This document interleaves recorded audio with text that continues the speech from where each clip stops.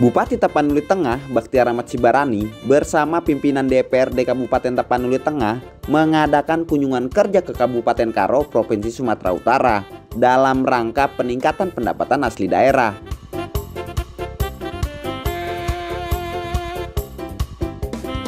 Kedatangan Bupati Tapanuli Tengah langsung disambut hangat oleh Bupati Karo, Koris Riwati Sebayang di kediaman rumah dinas Bupati Karo.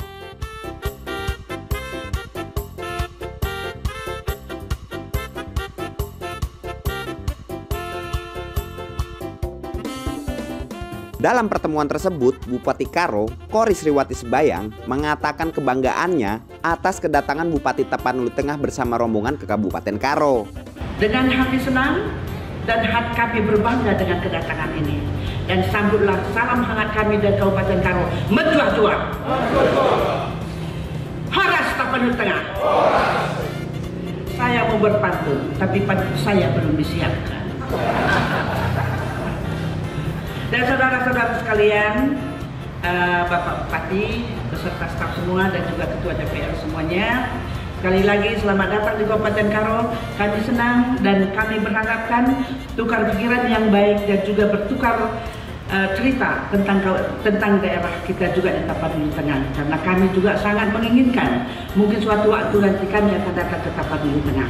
Pada kesempatan itu pula, Bupati Tapanuli Tengah Baktiar Ahmad Sibarani juga mengucapkan terima kasih atas sambutan hangat dan jamuan yang disajikan oleh Bupati Karo. Terima kasih atas jamuan kedatangan kami.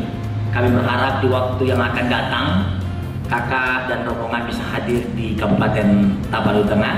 Kita bisa melihat indahnya Pulau Musala.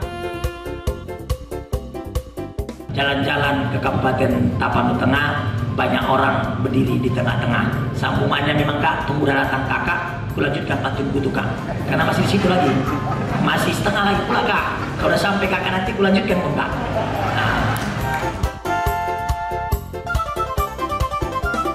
Komunikasi politik dan pertemanan itu hampir sama tapi berpolitik dan berteman kalau sejalan itu luar biasa. Agama tidak membatas kita bersaudara, agama tidak membatas kita berteman. Namun persahabatan yang tulus dari hati, komunikasi yang baik, itulah arti persaudaraan yang sesungguhnya. Untuk diketahui, sebagian daerah di Indonesia menjadikan sektor pariwisata sebagai peningkatan pendapatan asli daerah. Dulu ada jembatan yang baru saya bangun. Jembatan yang saya bangun lebarnya 10 11 meter, panjangnya 110 tiang bawah. Kontainer pun masuk kak. Di seberang sana tidak ada dulunya mobil bisa lewat. Hanya jembatan gantung. Mulai kecil saya bercita-cita membangun itu. Diberi Tuhan kesempatan, 2017 saya jadi bupati, 18 saya mulai pembangunan.